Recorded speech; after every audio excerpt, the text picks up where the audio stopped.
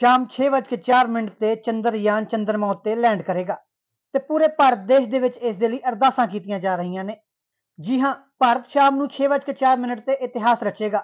ਚੰਦਰਯਾਨ 3 ਚੰਦਰਮਾ ਦੀ ਸਤਹ ਉੱਤੇ ਲੈਂਡ ਕਰੇਗਾ ਤੇ ਨਵੀਆਂ ਉਮੀਦਾਂ ਦੇ ਰਾਹ ਖੋਲੇਗਾ ਪਰ ਚੰਦਰਯਾਨ ਦੇ ਚੰਦਰਮਾ ਉੱਤੇ ਜਾਣ ਦਾ ਸਾਨੂੰ ਕੀ ਫਾਇਦਾ? ਫਾਇਦੇ ਨੇ ਅਨੇਕ।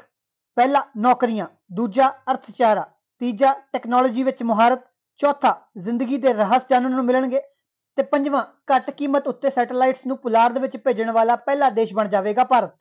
ਇਸਰੋ ਦੇ ਇੱਕ ਸਾਇੰਟਿਸਟ ਮਨੀਸ਼ ਪੁਰੋਹਿਤ ਦਾ ਕਹਿਣਾ ਹੈ ਕਿ ਭਾਰਤ ਇਸ ਲੈਂਡਿੰਗ ਰਾਹੀਂ ਦੱਸਣਾ ਚਾਹੁੰਦਾ ਹੈ ਕਿ ਭਾਰਤ ਚੰਦਰਮਾ ਦੀ ਸਤਹ ਉੱਤੇ ਸੌਫਟ ਲੈਂਡਿੰਗ ਕਰਵਾਉਣ ਵਿੱਚ ਸਮਰੱਥ ਹੈ ਤੇ ਕਿਸੇ ਵੀ ਦੇਸ਼ ਨਾਲੋਂ ਘੱਟ ਨਹੀਂ ਹੈ। ਜੇ ਇਹ ਮਿਸ਼ਨ ਸਫਲ ਹੁੰਦਾ ਹੈ, ਤਾਂ ਭਾਰਤ ਅਜਿਹਾ ਕਰਨ ਵਾਲਾ ਚੌਥਾ ਦੇਸ਼ ਬਣ ਜਾਵੇਗਾ। ਤੁਹਾਨੂੰ ਦੱਸ ਦਈਏ ਕਿ ਭਾਰਤ ਨੇ ਬੇहद ਘੱਟ ਬਜਟ ਦੇ ਵਿੱਚ ਇਸ ਮਿਸ਼ਨ ਦੀ ਤਿਆਰੀ ਕੀਤੀ ਸੀ। ਇਸੇ ਨੂੰ ਵੇਖਦੇ ਹੋਏ Amazon ਕੰਪਨੀ ਦੇ ਫਾਊਂਡਰ ਜੈਫ ਬੇਜੋਸ ਦੀ ਕੰਪਨੀ ਬਲੂ origin ਨੇ ਭਾਰਤ ਵੱਲੋਂ ਬਣਾਏ ਗਏ LMV3 ਰਾਕਟ ਦੇ ਵਿੱਚ ਦਿਲਚਸਪੀ ਦਿਖਾਈ ਹੈ। ਕੰਪਨੀ ਭਾਰਤ ਰਾਹੀਂ ਆਪਣਾ ਕਰੂ ਕੈਪਸੂਲ ਲੋ ਅਰਥ ਆਰਬਿਟ ਸਪੇਸ ਸਟੇਸ਼ਨ ਵਿੱਚ ਲਿਜਾਣਾ ਚਾਹੁੰਦੀ ਹੈ ਤੇ ਵੱਡਾ ਨਿਵੇਸ਼ ਕਰਨਾ ਚਾਹੁੰਦੀ ਹੈ। ਇਸੇ ਨਿਵੇਸ਼ ਦੇ ਨਾਲ ਭਾਰਤ ਵਿੱਚ ਨੌਕਰੀਆਂ ਪੈਦਾ ਹੋਣਗੀਆਂ ਤੇ ਭਾਰਤ ਦਾ ਅਰਥਚਾਰਾ ਬੁਲੰਦੀਆਂ ਨੂੰ ਛੂਹੇਗਾ। ਦੂਜੇ ਪਾਸੇ ਭਾਰਤ ਦੀ ਇਸ ਸਫਲਤਾ ਦੇ ਨਾਲ ਉਹਨਾਂ ਕੰਪਨੀਆਂ ਨੂੰ ਵੀ ਖਿੱਚ ਪਵੇਗੀ, ਜਿਹੜੀਆਂ ਕਿ ਮੈਪਸ ਵਰਗੀਆਂ ਐਪਸ ਨੂੰ ਲੋਕਾਂ ਤੱਕ ਪਹੁੰਚਾਉਂਦੀਆਂ ਨੇ। ਚੰਦਰਯਾਨ ਦੀ ਸਫਲਤਾ ਦੇ ਨਾਲ ਭਾਰਤ ਦੀ ਟੈਕਨੋਲੋਜੀ ਦੇ ਵਿੱਚ ਪੈਠ ਵਧੇਗੀ ਤੇ ਕੰਪਨੀਆਂ ਦਾ ਰੁਝਾਨ ਭਾਰਤ ਵਿੱਚ ਨਿਵੇਸ਼ ਕਰਨ ਵੱਲ ਵਧੇਗਾ, ਜਿਸ ਨਾਲ ਨੌਕਰੀਆਂ ਵਧਣਗੀਆਂ ਤੇ ਭਾਰਤ ਦਾ ਅਰਥਚਾਰਾ ਵਧੇਗਾ।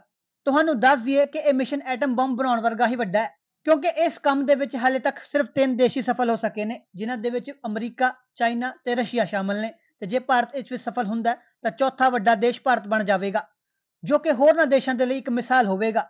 ਇਸ ਕੰਮ ਵਿੱਚ ਸਫਲ ਰਹੇ ਚਾਈਨਾ ਤੇ ਰਸ਼ੀਆ ਨੇ ਐਲਾਨ ਕੀਤਾ ਸੀ ਕਿ ਉਹ ਚੰਦਰਮਾ ਉੱਤੇ ਇੱਕ ਪੱਕਾ ਡੇਰਾ ਬਣਾਉਣਗੇ ਤੇ ਬਾਕੀ ਦੇਸ਼ਾਂ ਨੂੰ ਵੀ ਸੱਦਾ ਦੇਣਗੇ।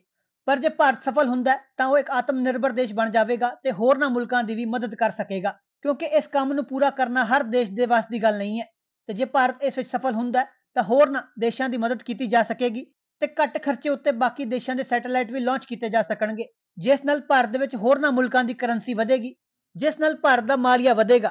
ਜੇਕਰ ਗੱਲ ਕੀਤੀ ਜਾਵੇ ਸਪੇਸ ਇੰਡਸਟਰੀ ਦੀ, ਤਾਂ ਇੱਕ ਰਿਪੋਰਟ ਦੇ ਮੁਤਾਬਕ 2013 ਤੋਂ ਹੁਣ ਤੱਕ 1197 ਕੰਪਨੀਆਂ ਨੇ 272 ਬਿਲੀਅਨ ਡਾਲਰ ਭਾਵ 20 ਲੱਖ ਕਰੋੜ ਰੁਪਏ ਤੋਂ ਵੱਧ ਦਾ ਨਿਵੇਸ਼ ਸਪੇਸ ਰਿਸਰਚ ਦੇ ਵਿੱਚ ਕੀਤਾ ਹੈ, ਜੋ ਕਿ ਆਪਣੇ ਆਪ ਵਿੱਚ ਇੱਕ ਬਹੁਤ ਵੱਡੀ ਰਕਮ ਹੈ। ਤੇ ਜੇ ਭਾਰਤ ਆਪਣੇ ਮਿਸ਼ਨ ਵਿੱਚ ਸਫਲ ਹੁੰਦਾ ਤਾਂ ਇਹਨਾਂ ਕੰਪਨੀਆਂ ਦਾ ਰੁਝਾਨ ਭਾਰਤ ਵੱਲ ਵਧੇਗਾ। ਤੇ ਜ਼ਾਹਿਰ ਹੈ, ਭਾਰਤ ਦੇ ਵਿੱਚ ਇਹਨਾਂ ਕੰਪਨੀਆਂ ਦੀ ਆਮਦ ਹੋਵੇਗੀ ਤੇ ਭਾਰਤ ਦਾ ਮਾਲੀਆ ਵਧੇਗਾ ਤੇ ਲੋਕ ਖੁਸ਼ਹਾਲ ਹੋਣਗੇ। ਇੱਕ ਸਮਾਂ ਸੀ ਜਦੋਂ ਭਾਰਤ ਦੇਸ਼ ਨੂੰ ਸਪੇਰਿਆਂ ਦਾ ਦੇਸ਼ ਕਹਿ ਕੇ ਮਜ਼ਾਕ ਉਡਾਇਆ ਜਾਂਦਾ ਸੀ ਤੇ ਅੱਜ ਉਹ ਸਮਾਂ ਹੈ ਜਦੋਂ ਭਾਰਤ ਇੱਕ ਆਤਮ ਨਿਰਭਰ ਦੇਸ਼ ਬਣ ਚੁੱਕਾ ਹੈ ਤੇ 140 ਕਰੋੜ ਲੋਕਾਂ ਦੇ ਭਵਿੱਖ ਨੂੰ ਲੈ ਕੇ ਚੰਦਰਯਾਨ ਚੰਦਰਮਾ ਦੀ ਧਰਤੀ ਵੱਲ ਵਧ ਰਿਹਾ ਹੈ। ਜਿਸ ਉੱਤੇ ਕਈ ਵੱਡੇ ਮੁਲਕਾਂ ਦੀ ਨਿਗਾਹ ਵੀ ਹੈ ਤੁਹਾਨੂੰ ਇਹ ਜਾਣਕਾਰੀ ਕਿਵੇਂ ਲੱਗੀ ਆਪਣੀ رائے ਕਮੈਂਟ ਬਾਕਸ ਜ਼ਰੂਰ ਸਾਂਝੀ ਕਰਨਾ ਤੇ ਇਹ ਜਾਣਕਾਰੀ ਅੱਗੇ ਵੀ ਸਾਂਝੀ ਕਰਨਾ bureau report Punjab Nation TV